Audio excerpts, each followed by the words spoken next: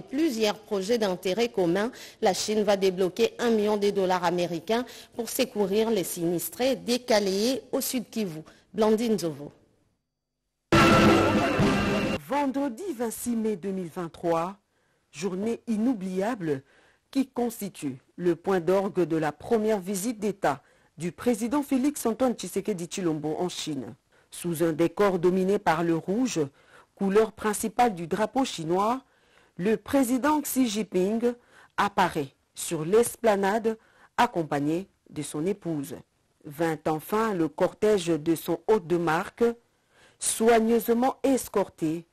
Félix Antoine Tshisekedi Chilombo, enfin devant son homologue Xi Jinping, les instants de chaleureuses salutations accompagnés de leurs épouses respectives.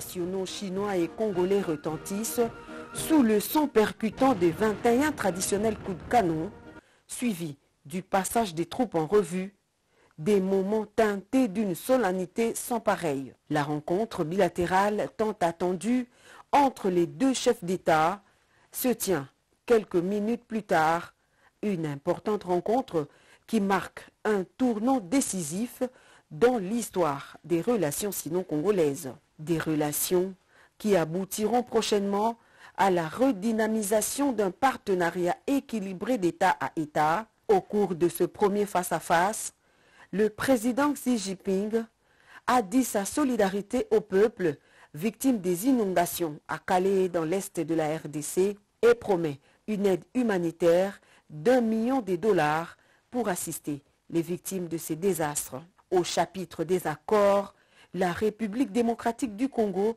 en rafle cinq au total. Le premier porte sur l'investissement dans les ressources et la coopération écologique. Le second est un protocole d'entente sur l'échange et la coopération en matière d'information et de la communication.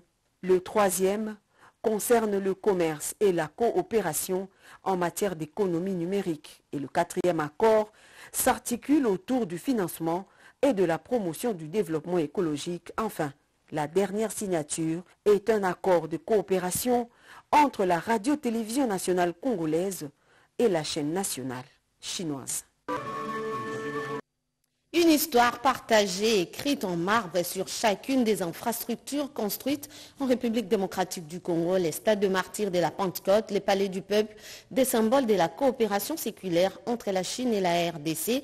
Sur place à Beijing, le chef de l'État, Félix Antoine Tshisekedi Chilombo, a visité les grands palais du peuple chinois. Blandine Zovo. L'Assemblée populaire de Chine Parlement monocaméral et législatif de la Chine est l'une des institutions qui joue un rôle crucial dans le système politique du pouvoir en place. Devant le président du Parlement chinois, le chef de l'État Félix Antoine Tshisekedi Chilombo a évoqué les questions liées au renforcement du partenariat économique historique entre la RDC et la Chine. S'agissant de l'agression injuste que subit la RDC face à son voisin le Rwanda depuis des décennies, Félix Tshisekedi sollicite l'appui de la Chine en sa qualité de membre permanent du Conseil de sécurité des Nations Unies pour une paix durable à l'est de la RDC, mais aussi obtenir des sanctions sévères contre son voisin agresseur. Très attentif, le président de l'organe délibérant chinois, Zhao Leji, rassure que son pays par l'entremise du président Xi Jinping, tient à conserver le rapprochement avec la RDC dans tous les domaines porteurs du bien-être au peuple des deux pays. Et juste après le palais du peuple, le chef de l'État et la délégation qui l'accompagne s'est rendu au monument des héros nationaux pour rendre hommage à ceux qui ont payé de leur sang pour la renaissance d'une Chine nouvelle sur la couronne de fleurs posée sur le peron du monument leur dédié, l'on pouvait lire, je cite, Une profonde mémoire aux héros du peuple chinois. Fin de citation. Ce premier round des activités du président de la République s'est achevé avec l'entretien avec le Premier ministre chinois Li Qiang. Les deux personnalités ont passé en revue la coopération bilatérale et les sujets d'intérêt commun. Avec la diaspora congolaise en Chine, le chef de l'État a brossé d'une manière détaillée la situation du pays, notamment l'agression dont est victime la RDC dans sa partie Est. On en parle dans ces reportages de Blandine Zovo. Entrepreneurs expatriés, étudiants boursiers, familles résidentes en Chine, tous se sont mobilisés pour ce moment d'échange avec le chef de l'État Félix Antoine Tshisekedi Chilombo, qui avait à ses côtés la première dame, la distinguée Denise Nyakeru Tshisekedi. Moment tant attendu depuis plusieurs années par ses compatriotes qui ont choisi la Chine comme seconde patrie. Le chef de l'État a galvanisé la foule par ses paroles mobilisatrices pour faire vibrer en chacun des Congolais l'amour du pays et le sens de l'intérêt général. Aucune question taboue n'a été épargnée. Tout est en train d'être fait au niveau sécuritaire, d'une part, mais même aussi au niveau politique. Euh, c'est un modus operandi euh, qui a milité justement à arriver à ces tensions voulues parce qu'on veut déstabiliser le Congo. On veut le déstabiliser parce qu'on ne veut pas que le Congo aille aux élections. C'est ça la vérité. Ce dont je suis sûr, c'est que nous ne perdrons pas cette bataille. Les élections... Les élections auront bel et bien lieu à la date prévue par le calendrier et personne ne nous empêchera de le faire. Véritable retrouvaille entre le père de la nation et ses compatriotes venus de plusieurs villes de la Chine. Parmi les sujets phares abordés, l'agression lâche et barbare dont la République démocratique du Congo est victime, œuvre de son voisin le Rwanda et son président Paul Kagame, qui a affiché ses velléités expansionnistes. Au-delà des jérémiades, nous voulons agir avec intelligence face à la nébuleuse M23 qui s'attaque à la population innocente et sans défense, a rassuré le président de la République. Les compatriotes congolais vivant en Chine ont profité de cette première venue du chef de l'État pour lui soumettre les difficultés auxquelles ils font face dans un pays qui ne fait surtout pas cadeau aux étrangers venus d'Afrique. Eza première na ye po akóma awa na kati ya mboka chine. Akoki koresoudre baproblème nyonso te en même temps. Akosala yango malembe malembe. Ntina akosala en sorte que tout puisse aller de l'avant. En tant que femme nous sommes ici. Nous ne jouissons pas peut-être ici à l'étranger mais quand nous sommes dans notre pays nous ne jouissons pas des mêmes droits que les hommes.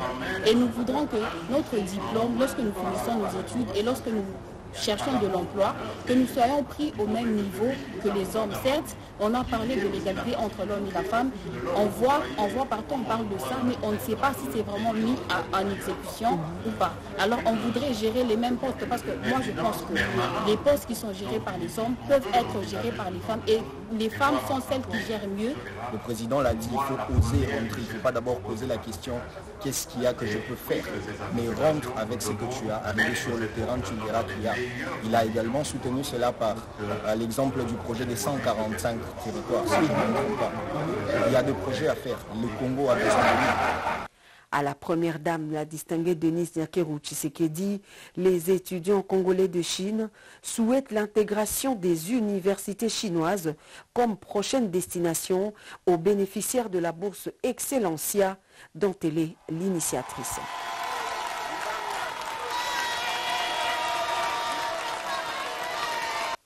Nous restons en Chine où les deux premières dames, Denise Nyakiru Tshisekedi et Peng Liyuan, ont échangé sur un certain nombre de questions liées à la condition féminine.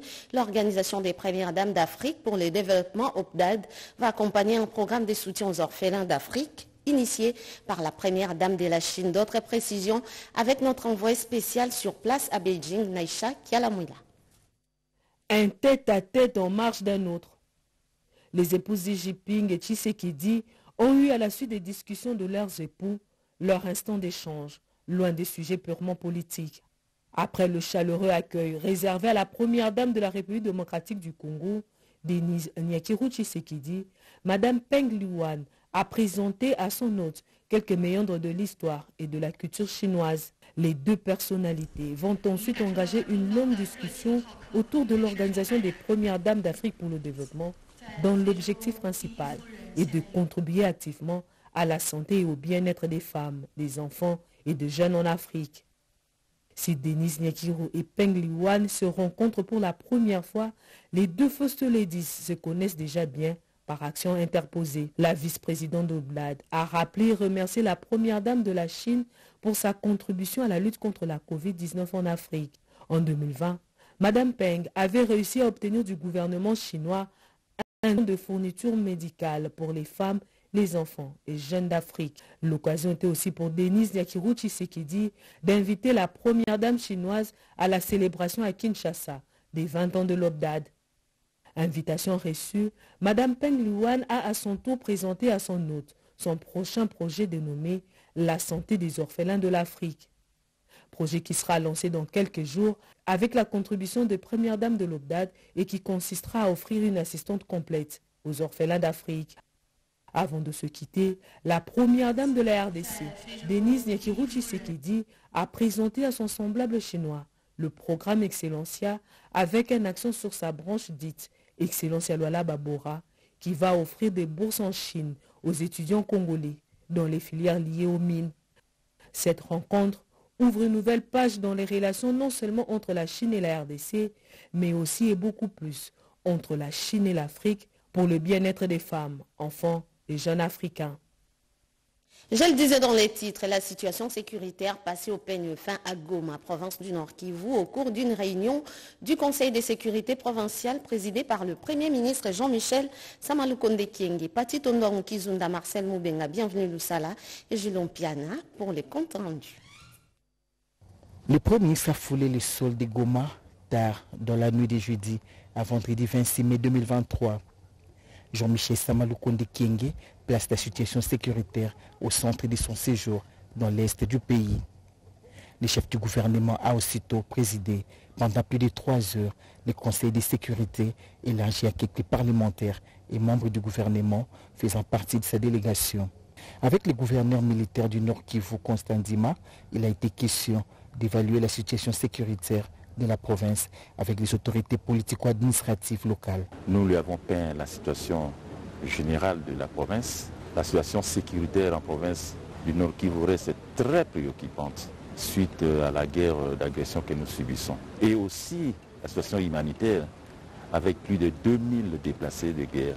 Vous savez, nous avons deux secteurs opérationnels. Au Grand Nord, il y a l'activisme des ADF MTM qui, depuis des années, sont en train de massacrer notre population, à faire ce que cette population-là cède de la terre pour qu'eux occupent cette partie de la République, dans le territoire de Béni, pour en faire un califat.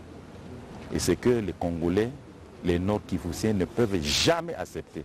Et ici, au sud, nous faisons face à l'agression, où aujourd'hui, vous savez, le Rwanda, avec son bras séculier M23, ont conquis donc quelques localités donc dans le territoire de Rutshuru, euh, Massissi, Niragongo et aujourd'hui tout autour de la ville de Goma.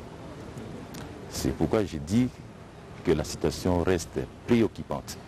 L'état de siège décrété dans ces deux entités issues de la décentralisation justifie les déplacements de Goma du gouverneur militaire Johnny Luboya Kanchama de l'Ituri avec qui le Premier ministre a eu une autre réunion de sécurité.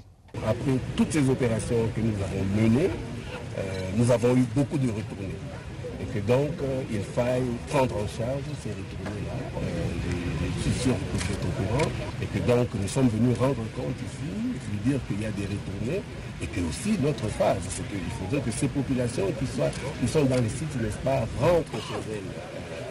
La série des réunions du chef d'exécutif national avec les autorités et certaines couches sociales lui permettra d'avoir plus d'informations sur la situation sécuritaire dans l'est du pays, mais surtout de trouver des solutions idoines à cet épineux problème. Aux dernières nouvelles, nous apprenons que le Premier ministre Jean-Michel Samaloukonde Kenge vient d'atterrir à Calais au sud Kivu en partance pour les zones sinistrées Calais. Et cette réaction du ministre du Budget, Aimé Sangara, qui est dans la suite du Premier ministre. Suivez.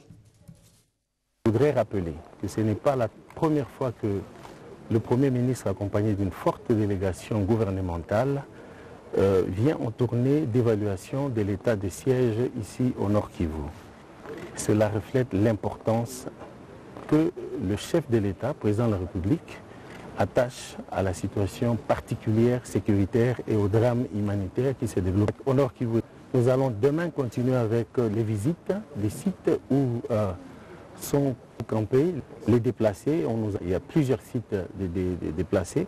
Et donc euh, le Premier ministre, accompagné de cette délégation, va visiter euh, certains de ces sites demain et nous allons partir à Calais et je pense qu'à notre retour, le chef du gouvernement va communiquer et vous livrer euh, l'essentiel du message qu'il aura à vous apporter et les conclusions des échanges que nous avons eus avec toutes les couches de la population et les autorités de la province avec lesquelles on a échangé. Autre chose, Claude Balanquier Colomba, nommé ambassadeur itinérant du chef de l'État, l'espace Grand Bandundu remercie le chef de l'État pour le choix porté sur ces dignes fils de cet espace géographique et apporte un soutien aux actions du chef de l'État, Robert Ndaïchisense. Il était jusqu'à sa nomination comme ambassadeur itinérant du chef de l'État, Félix-Antoine de Chilombo, coordonnateur du mécanisme de suivi de la COCA d'Addis Abeba, poste qu'il a occupé avec brio pendant 4 ans. Son élévation a suscité des réactions à travers le pays. La population du Grand Bandundu et du Nord Bangui est descendue dans la rue pour remercier le chef de l'État, Félix-Antoine de Chilombo, pour cette confiance renouvelée au bénéfice du Grand Bandundu. Tout est parti du caravane motorisé à travers les rues de Kikwit. Sont partis cause commune pour un Congo et une Afrique différente. Rend hommage au chef de l'État Félix-Antoine Tshisekedi Chilombo pour les choix judiciaires sur un digne fils Claude Ibalanquier Colomba. Parti Cause Commune allié à l'IDPS. Disons un grand merci au chef de l'État pour la nomination de notre autorité morale, l'excellence Claude Ibalanquier Colomba, fils maison de l'IDPS, au poste de l'ambassadeur itinérant du président de la République. Recevons au président de la République, le chef de l'État, une victoire écrasante dans les grands Bandundu aux élections 2023. Sa nomination au poste d'ambassadeur itinérant du chef de l'État démontre une fois de plus la détermination du président de la République, Félix Antoine Tshisekedi à conduire la République démocratique du Congo sur la voie de l'émergence en fédérant toutes les énergies la population du Grand Bandundu s'engage à honorer les choix du chef de l'État et lui promet, à travers cause commune, dont Claude Balanqui et autorité morale, de tout mettre en œuvre pour son élection le 20 décembre 2023 pour le porte-parole des causes communes, le devoir sacré des fils et filles du Grand Bandundu est d'apporter leur soutien à toutes les actions que mène le président de la République pour le bien-être de tous. Dans la même logique, cadres et militants des ACO remercient également le chef de l'État pour la reconduction de Dani Banza au poste d'ambassadeur itinérant. La nomination de Dani Banza Maloba au poste d'ambassadeur itinérant du chef de l'État, la Fédération des partis politiques Avenir du Congo, ACO Tanganyika, est montée au créneau pour saluer cette mesure de Félix Tshisekedi. Nous tenons à remercier le président de la République, chef de l'État, pour sa confiance placée. Une fois de plus à notre président national et autorité morale du parti politique ACO en sigle, quatre mois après, tout en félicitant notre autorité morale et président national du parti, son Excellence Dani Banza Maloba, pour sa nomination au poste d'ambassadeur itinérant du chef de l'État et président de la République démocratique du Congo Antoine Tshisekedi Chilombo. Avons accueilli avec une joie immense cette bonne nouvelle et lui promettons notre soutien et accompagnement indéfectible. Les cadres et militants de ACO réunis à la Fédération de Kalemi ont promis à travers Dani Banza Maloba leur autorité morale de soutenir le président Félix Tshisekedi lors des élections de décembre de cette année. Réitérons notre confiance très attaché au président de la République et nous souhaitons un fructueux mandat tout en lui assurant notre accompagnement dans sa lourde mission à notre autorité nationale des partis politiques ACO, son Excellence Dani Banza Maloba. Dani Banza Maloba a repris son poste d'ambassadeur itinérant du chef de l'État quatre mois après une confiance placée en sa personne par le chef de l'État et qui est saluée par ses cadres et ses militants de la province du Tanganyika. Infrastructure, l'Issala et ses environs composent une zone agricole importante. L'Office de route s'emploie à la réhabilitation de certains ouvrages, notamment des ponts qui relient villages et agglomérations. Blaise Boko. S'imprégner des réalités qui prévalent sur le terrain, c'est parfois utile et important pour un responsable, à l'instar du DGA de l'Office des routes qui est arrivé à l'Issala pour une visite d'inspection du réseau routier dans une partie du Grand Équateur. Nous avons cette émission. Nous sommes le président Félix Tshisekedi en nous confiant cette émission. Ce n'est pas pour que nous restions dans des bureaux parfumer tout ça. Nous devons faire l'inspection des routes. Nous sommes atterrés à, à l'Issala pour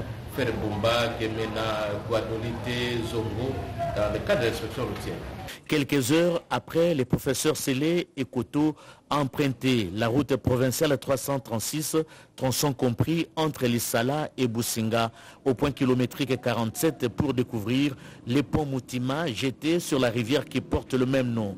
Un bel ouvrage qui permet aujourd'hui la circulation aisée sur ce tronçon. Et voilà l'une des réalisations du président Félix Tshisekedi. Vous voyez à côté là les ponts que Kabila nous a laissés.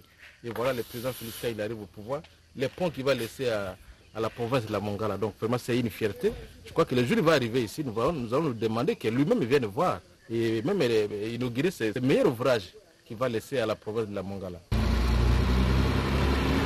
Même les gros véhicules peuvent circuler sans problème. C'est un plaisir pour tout un peuple de voir ce pont en remplacement de l'ancien dans un état rudimentaire pendant des décennies dans cette partie du territoire national. Le Fonds des garanties de l'entrepreneuriat au Congo FOGEC apporte son appui au PME. Le numéro 1 du FOGEC a visité une unité industrielle dans la province du Haut-Katanga. D'autres détails dans ces reportages. Prélude de la première cohorte du financement des entrepreneurs du Haut-Katanga, le directeur général du Fonds des garanties de l'entrepreneuriat au Congo, Laurent Mondemba, a visité les entrepreneurs œuvrant dans la production de l'eau minérale de l'usine La Manne Cachée. Félicitations. Félicitations qui sera suivi de fierté. On est très heureux de voir euh, ce travail euh, d'une dame, d'une entreprise tenue par une dame, une entreprise congolaise qui pense à aller vers des secteurs où on trouvera beaucoup de Congolais, où les Congolais disent aujourd'hui qu'ils veulent prendre leur place, ils veulent être là et marquer, euh, marquer de leur empreinte euh, ce, ce, secteur. La briqueterie MAD, l'entrepreneur Congo avant tout, spécialisé dans la production des détergents pour tout usage et de l'eau minérale, ont fait l'objet de la visite du directeur général du FOGEC. Techniques de négociation dans les commerces extérieurs en Afrique, les sujets et tant d'autres étaient au centre d'un atelier initié par la ZLECAF, la zone de libre-échange continentale africaine. Anastasie Doumbou nous en dit un peu plus. Cet atelier de renforcement des capacités des négociateurs et membres du comité de pilotage du projet appuie à la mise en œuvre de la zone de libre-échange continentale africaine en République démocratique du Congo a permis aux participants du secteur public et privé d'acquérir des connaissances sur les techniques de négociation en vue de promouvoir l'extension du commerce congolais dans les grands marchés africains. Toutes les parties prenantes sont donc invitées à conjuguer beaucoup d'efforts pour positionner les produits congolais dans l'espace africain tel que les maïs. Qu'à ce jour, l'Afrique est en train de changer autour de 15 à 17% Et il va de soi qu'au travers l'accord sur la ZLECAF ainsi que de son protocole sur le commerce des marchandises, le commerce africain va croître très sensiblement et le secteur privé notamment celui de RD Congo, pourra tirer le meilleur profit. La mise en œuvre de la ZELCAF permettrait à mener à bien les réformes de fonds nécessaires, question de stimuler la croissance dans les pays africains. Oui, nous sommes en train de vouloir intéresser les entreprises congolaises, surtout les PME, de s'organiser en cluster pour être capables d'accéder à des marchés, d'être compétitives. Et c'est une nouvelle façon de penser en RDC et nous pensons que le pays a les atouts qui permettent d'entrer dans, dans ce segment de marché. Signalons que cette formation a été appuyée par la GIZ et GEFA. La cérémonie a été sanctionnée par la remise de brevets aux participants par le secrétaire général AI du ministère des Commerces extérieurs. Politique, Congo Espoir accueille de nouveaux membres et ces partis politiques de l'Union sacrée ont enregistré un nombre important d'adhérents à Isiro dans la province du Haut-Ouélé. C'est un reportage de nos confrères de la RTNC Isiro. Que membre signateur de la charte de l'Union sacrée de la nation, Congo Espoir, sous le leadership à province du gouverneur Christophe Bassiani Nanga, organise une vaste campagne d'adhésion de nouveaux membres dans la ville d'Issiro. À l'issue d'un carnaval motorisé organisé de la commune Mendambo au siège de ce parti situé au centre-ville, dans la commune Koupa, plusieurs centaines de nouveaux adhérents signent leur fiche. Boaz Zamani, l'actuel directeur de campagne du Congo Espoir, dont le Haut-Ouélé ne cache pas sa satisfaction. Congo Espoir. Notre parti est membre de l'Union sacrée. Nous militons pour la victoire de Félix Antoine Tshisekedi Chilombo, notre candidat unique à la présidence. Dans le Haut-Ouélé, notre candidat c'est Christophe Bassiani Nanga aux autres niveaux. De son côté, Bruno Ndiama TTI, vice-président fédéral, indique que ce parti milite pour la réélection du chef de l'État Félix Antoine Tshisekedi Chilombo aux élections à venir. Pour ce faire, il a besoin de nouveaux membres. Le parti travaille pour la réélection du chef de l'État, Tshisekedi. On est là pour évidemment accompagner déjà pour une adhésion massive. Une cérémonie saluée par le jeune, le femme marchande et autres anonymes.